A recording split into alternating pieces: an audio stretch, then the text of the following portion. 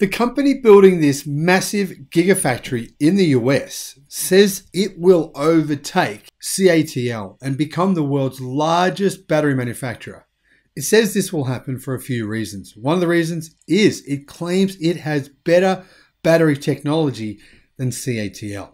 It also says it has way more back orders, way more future orders than CATL. Who are those orders coming from?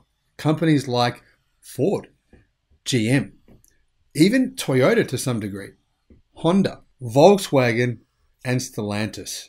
And now it says one of the ways it plans to become the world's largest battery manufacturer is by building more lithium iron phosphate battery factories around the world, including starting in the United States of America. In 2021, lithium batteries exploded.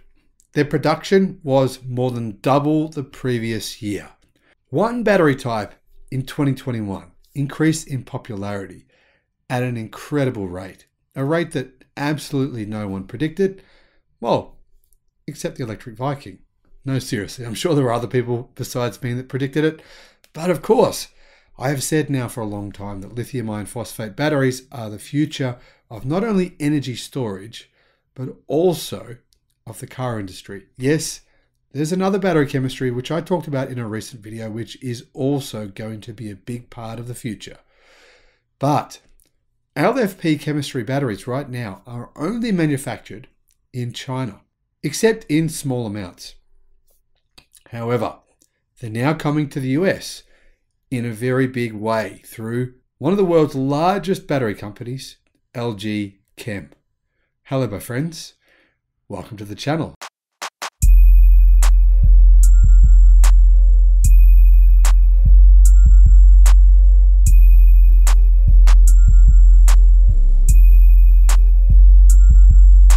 I'm the Electric Viking. Great to see you. Welcome to all the new subscribers and welcome back, everyone else. Right now, China manufactures most of the world's batteries, and that's not really about to change anytime soon.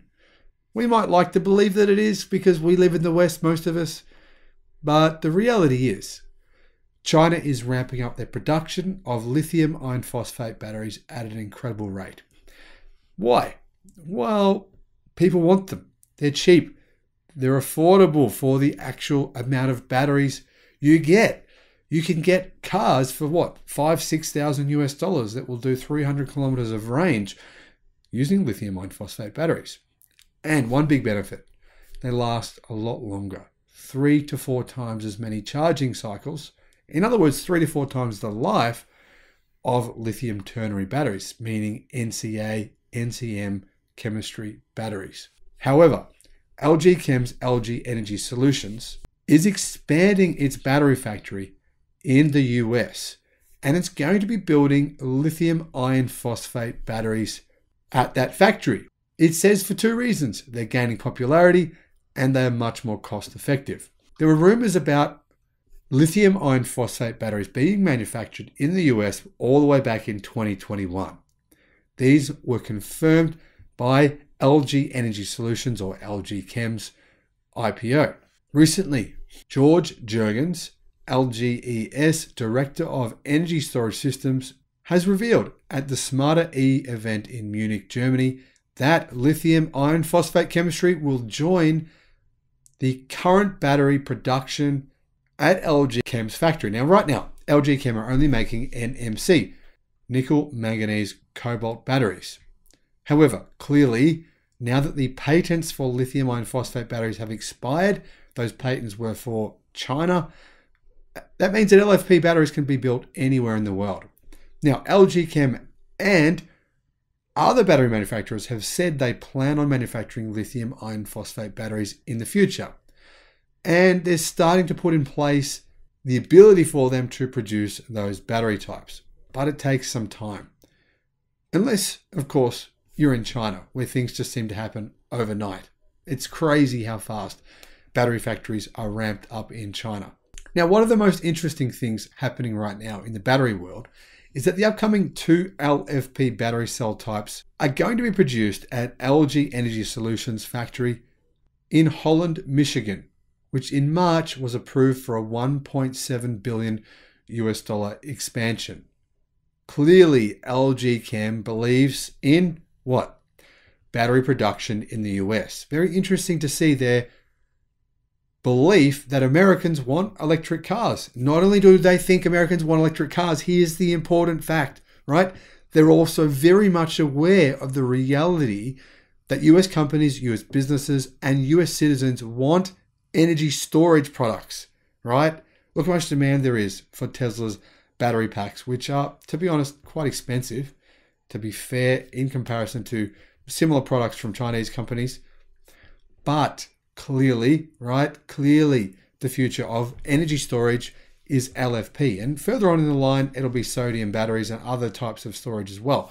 But for the next five years, LFP battery storage is the way that the market is going. And the US is going to play a huge part in this. According to PV Magazine, two new types of cells will be produced in the same format and size as the current cells for easy use in the same modules and packs as before, which suggests that these, both of these two new types of cells that LG Chem are going to be making, are pouch cells instead of prismatic cells as are usually used with lithium iron phosphate batteries. The two LFP cells in the pipeline will enter the market in 2023 and 2024. These two cells are this. The first, a standard size cell. Production will begin next year in October of 2023. A long size cell production begins in Q4 of 2024. Now, I'm hoping, right, if LG Chem, realistically, if they're aware of what's going on in the market right now, and they have to be, they would be aware of what is happening with energy density in lithium iron phosphate batteries. Energy density has been an issue. The reason, right, that we don't see lithium iron phosphate battery cells being used, well, the main reason in a lot of different cars in the West is because the energy density used to be low. Energy density has improved, still not enough to be anywhere near where we're at with ternary batteries or with the batteries used in most brands in the US electric cars, right? But by the end of this year, the battery technology being worked on right now will become mass commercially scaled and available. That technology is coming from CATL, the world's largest lithium iron phosphate battery producer, CALB, one of the fastest growing lithium iron phosphate producers in the world, and Gotion High Tech, a company which is owned one third by Volkswagen. And Gotion High Tech, CALB, and CATL all say the energy density of their batteries will almost double by the end of this year, meaning that it will no longer really be an advantage at all to use lithium ternary batteries, which is the main chemistry used by most of the industry outside of China, most of the industry, not in China, right? So LG Chem with these new cells must be aware the energy density in these packs will have to significantly improve over what's available today. I'm guessing LG Chem is very much aware of that fact and have probably worked on massively improving the energy density of lithium iron phosphate batteries as well. So I think the most likely scenario is when these batteries arrive in late 2023 and the long cell version in late 2024, they're going to have energy density at the cell level of close to 230 to 240 watts per kilo because they will have to to be competitive. What will that mean?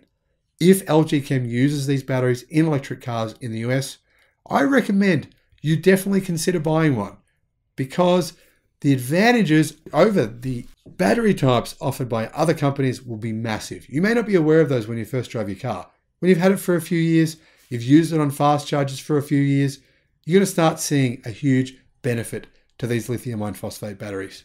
There's a chance that the long size cells will be used in electric vehicles, but there's no confirmation yet.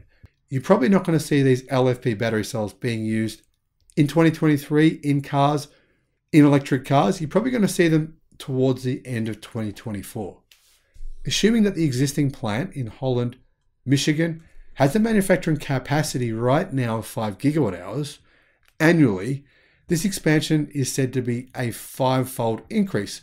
That would mean that the factory in Holland, Michigan will go from producing 5 gigawatt hours per year to 25 gigawatt hours per year by the end of 2024.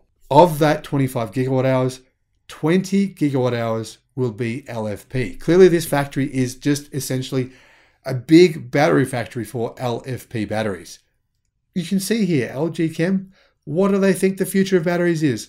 They think it's what I've been saying. Why else would they be investing billions of dollars in a factory in the US, right? If they didn't believe that chemistry was the chemistry of the future. Jurgen said, the new battery cells will be made in Holland in the US state of Michigan, with double digit gigawatt scale production lines being added to the facility. According to Business Korea, LG Energy Solutions and other South Korean manufacturers are also looking for a different cobalt free battery called the LNMO. This is a battery chemistry that Tesla is looking to utilize and will be in Tesla vehicles next year. I guarantee it. Tesla, in fact, is very much aware of the significant advantages that LNMO cobalt free batteries have over even lithium iron phosphate. Prices of LNMO batteries versus lithium iron phosphate will be very, very similar. Why? LNMO batteries need far less lithium. That's a big advantage of them. In addition, those batteries don't use cobalt. High proportions of manganese can replace the cobalt. And Tesla's been talking about these batteries for a while now. And thanks to these advantages and changes in chemistry, these new cells will be less expensive, far less expensive. However, for many companies, a lot of development work still needs to be done to make these batteries viable. However, there are a few different battery companies, including one in the United States, which has successfully mass produced, well, at a level that's required for prototyping, LNMO battery chemistry. And if you want to see my video about LNMO batteries and the advantages that they have, I'll put a link in the description below. It's about Tesla and how Tesla will use these batteries to have a big advantage over other automakers in the industry. Personally, I'm just excited to see this, this battery gigafactory in the United States. The United States needs more gigafactories. It needs a lot more gigafactories. It doesn't just need this one, it needs at least another 20. Why? Because otherwise, manufacturing is just going to move from the US to China. And that's okay at some degree, but if we lose all of our manufacturing capacity in the US and in the West, that's not a good thing. We still need to have some control over our destiny. That's what LG Energy Solutions is doing here in the United States. I think, even though frankly, LG Energy Solutions is not a company that I like. Why? Because essentially they're just a huge chemical company. They are. Look it up. That sucks. But realistically, we still should support the work they're doing in the US because they are building a number of gigafactories around America. And Americans need this. Americans need EVs and Americans need energy independence. EVs and battery technology give US consumers energy independence, especially when you combine those things with solar and wind generation, which is rapidly scaling up in the US as well. Personally, I think this is awesome. The world needs more LFP as soon as possible. Thank you for watching and let me know in the comment section below what you think. Have a great day. Bye bye.